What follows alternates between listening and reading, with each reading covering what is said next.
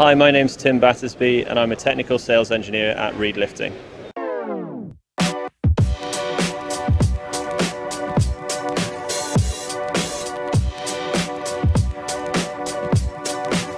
Uh, so we manufacture lightweight and portable lifting equipment. Uh, it's primarily manufactured out of aluminium.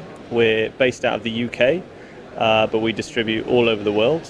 Uh, we're here at IWS 2018 because our products uh, are widely used in the water sector, uh, especially in the UK, but we're now expanding into other countries.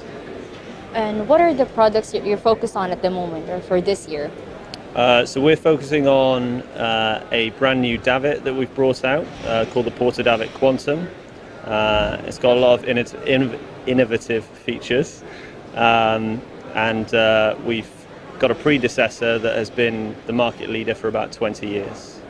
And what's your expectations for this year? How is the market going for your business?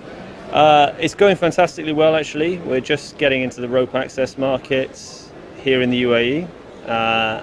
But uh, the market's quite strong. Uh, it's looking up. There were a few years where it was a, a, little bit slower, but things are looking good for the future.